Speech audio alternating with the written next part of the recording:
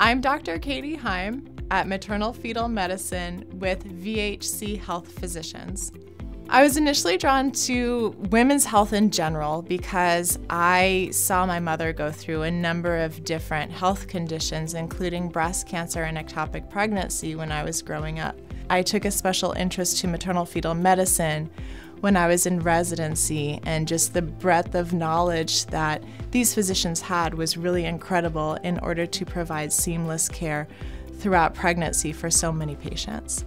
The thing I enjoy most about what I do is really connecting with patients, especially discussing with future moms all of the challenges that they may have to face and helping them overcome it through what can be a very difficult time in their life. A lot of times people feel like a number, especially in obstetrics, kind of come in, come out, really fast visit. But patients, once they come to VHC Health, many of them do stay because of the care that we're able to provide, not only with good medicine, but with counseling and compassion along the way.